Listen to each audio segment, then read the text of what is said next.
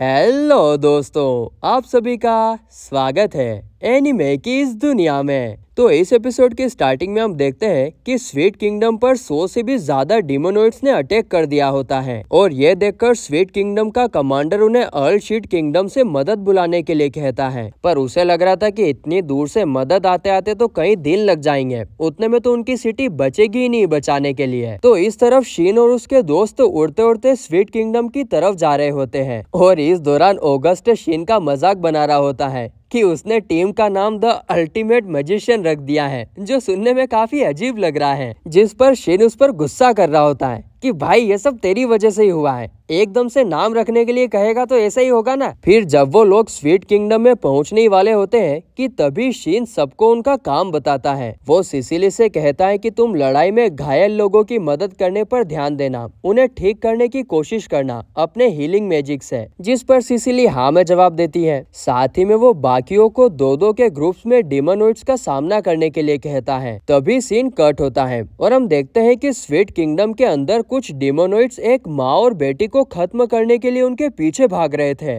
और फिर वो उन पर हमला करने वाला था कि शीन वहाँ आकर उसके गाल पर एक झन्नाटेदार लात मारता है। और वो डिमोनोइड झुमका गिरा रे, बरेली के बाज़ार में झुमके की तरह दूर जाकर गिरता है। ये देखकर दूसरा डिमोनोइड चीन से कहता है कि, ये तुमने क्या किया? क्या तुम्हें पता भी है कि तुम किसका सामना कर रहे हो? तुम्हारे जैसा एक मामूली इंसान हम डेमोनोइड को कभी नहीं हरा सकता। जिसे सुनकर शीन बिना टाइम वेस्ट किए अपने मैजिक से उस पर अटैक करके उसकी पक पक पक पक पक को बंद कर देता है। मेरा मतलब है कि वो आगे कुछ बोलने के लिए ज़िंदा ही नहीं बचता बेचारे को खुद नहीं पता था कि वो किसका सामना कर रहा था। अब ऊपर जाकर सोचना कि शीन कौन था तो दूसरी तरफ़ ऑगस्ट स्वीट किंगडम के सभी लोगों के सामने यह ऐलान करता है कि हम अर्ल शीट किंगडम से मदद के लिए आए हैं और हमारे पास डिमोनोइड्स को हरा पाने की ताकत है। हमारे साथ डिमोनोइड्स को पहले भी हराने वाला शिन वुल्फोर्ड है, इसीलिए डिमोनोइड्स हमसे नहीं बच सकते।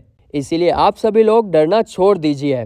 और ये सुन के सभी लोगों के मन से डर चला जाता है और सब लोग खुश हो जाते हैं। इसके बाद शीन और उसकी टीम डिमोनोइड्स को हराने के लिए जाती है, जिसमें सबसे पहले एलिस और लीन एक डिमोनोइड का सामना करते हैं, जहाँ वो डिमोनोइड एलिस और लीन को छोटी बच्चियाँ बुलाकर उनका मज़ाक उड़ाने लगती हैं। यह सुनकर तो एलिस को बहुत ज़्यादा गुस्सा आता है, जिससे उसका मैजिक आउट ऑफ़ कंट्रोल जाने ही वाला था कि लीन उस पर पानी डालकर उसे शांत करती है और कहती है कि अभी गुस्से से काम करने का टाइम नहीं है, हम डिमोनोइड्स का सामना कर रहे हैं, इसीलिए अपने गुस्से को काबू में रखो गुस्से से काम बिगड़ता है। एलिस उसकी बात समझ जाती है और शांत हो जाती है और जब वो पीछे मुड़कर देखती है तो वो डिमोनोइड ऑलरेडी लीन के मैजिक से मर चुका था। फिर वो देखते हैं कि एक और डिमोनोइड एक स्वीट किंगडम के सोल्जर को बुरी तरह से प्रताड़ना दे रहा था और इसीलिए वो दोनों तुरंत वहाँ जाकर अपने बैरियर से उस आदमी को बचाते हैं। अब ये डिमोनोइड भी उन दोनों को छोटी बच्ची बुलाने लगता है। जिसे सुनने के बाद तो एलिस के गुस्से का ठिकाना नहीं रहता। इसीलिए वो उस डिमोनोइड को अपने मैजिक से जलाकर राख कर देती है। तो वहीं दूसरी तरफ़ थोर और जूलियस भी डिमोनोइड से लड़ रहे होते हैं। और इस दौरान थोर उनमें से एक को पूरी तरह से खत्म ना करके उसे सवाल करने लगता है कि क्या तुम ये सब स्ट्रॉन्ग के ऑर्डर्स पर कर रहे हो, जिस पर वो डिमोनोइड जवाब देने से इनकार करता है। तो थोर उसे और ज़्यादा घायल कर देता है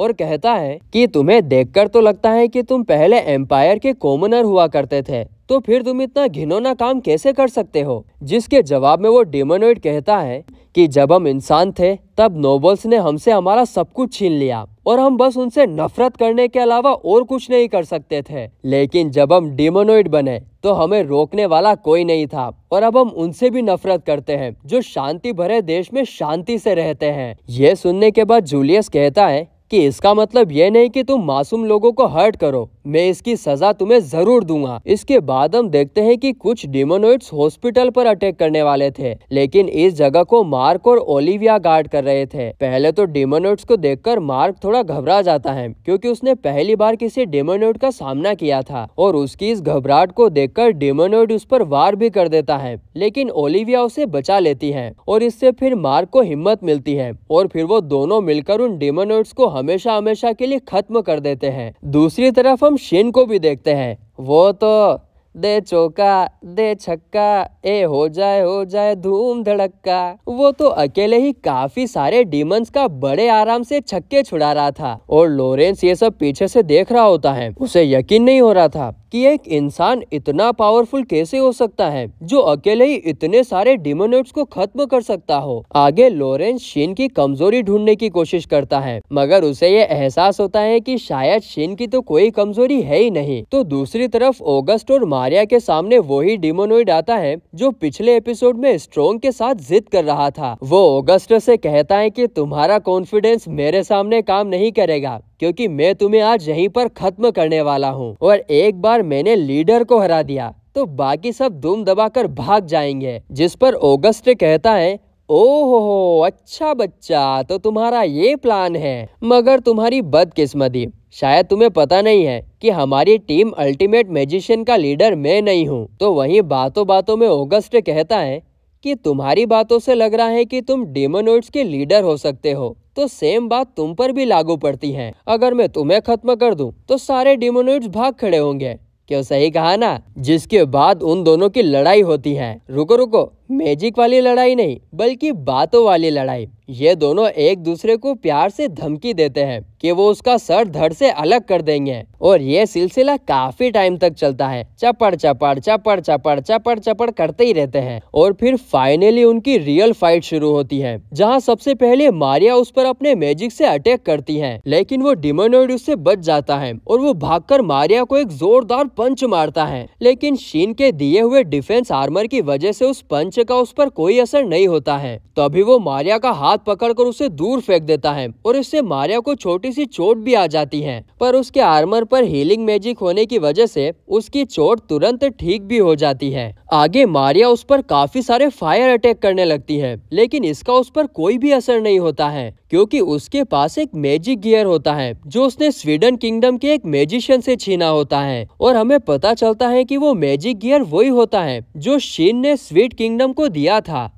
और ये देखकर कि उसको कुछ हो ही नहीं रहा है तो ऑगस्ट और मारिया अलग अलग डायरेक्शन से लगातार मैजिक से अटैक करने लगते हैं। और फिर लगातार अटैक करने की वजह से वो बैरियर टूट जाता है। और फिर मौके का फ़ायदा उठाते हुए ऑगस्ट उस पर पीछे से अटैक करके उसे खत्म कर देता है। जिसके बाद अगले सीन में हम देखते हैं कि स्वीट किंगडम के रॉयल पैलेस में ग्रैंड और ग्रैनी भी होते हैं, लेकिन उन्हें लड़ने की कोई ज़रूरत नहीं पड़ती। अब यह सब देखकर तो लॉरेंस के होश पूरी तरीके से भूल्ड हो गए थे, क्योंकि उसने सोचा ही नहीं था कि शेन के साथ साथ उसके बाकी टीम मेंबर्स भी इतने स्ट्रोंग निकलेंगे। और इसीलिए फिर वो ब्रॉडकास्ट के ज़रिए सभी डिमोनोइड्स को वापस जाने के लिए कहता है, जिसे जेस्ट जो बाहर खड़ा था, वो सुन लेता है। और अब ये सब देखकर वो भी हैरान था। और इसीलिए फिर वो उसकी साथी, जिसका नाम ब्यूटी था, वो उसको मदद करने के लिए बुलाता है, जो कि एक हाई लेवल की डिमोनोइड होती है। और फिर ब्यूटी देखते ही देखते किंगडम के गेट तोड़कर अंदर आ जाती है। और ये तो बहुत ही ज़्यादा खतरनाक होती है, क्योंकि उसने आयरन से बने गेट को अपने मैजिक से ही गला दिया था। और उसे इस रूप में देखकर तो किंगडम के गार्ड्स की भी फटकर चार हो जाती है। आगे ब्यूटी, जो बिल्कुल भी ब्यूटी नहीं है, वो कहती है, आओ इंसानों दिखाओ, तुम में कितनी पावर है। जिसके बाद वो अपनी पावर का यूज़ करके किंगडम में तबाही मचा देती है और ये सब दूर से स्ट्रोंग भी देख रहा होता है। वो कहता है ब्यूटी तुम्हें जेस्ट की बात मानकर किंगडम में जाने की ज़रूरत नहीं थी। एक बार मुझसे बात करके तो देखती। अब आगे क्या डेंजरस होने वाला है, ये तो हमें अगले एपिसोड में ही पता चलेगा। क्योंकि ये एपिसोड तो यहीं पर खत्म होता है।